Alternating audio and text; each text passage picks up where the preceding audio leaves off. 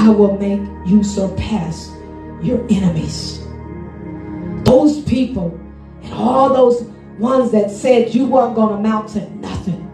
And it, and it, it stuck with you. And it made you feel like you're not going to amount to nothing. But I'm here to tell you that you are called and chosen.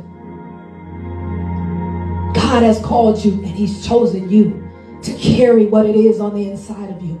And you're getting ready to give birth to that thing. And God's going to make you surpass your enemies.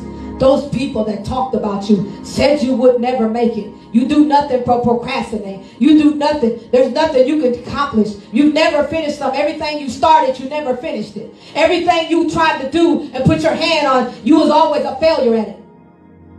When God gets his hand in it, it's anything but failing.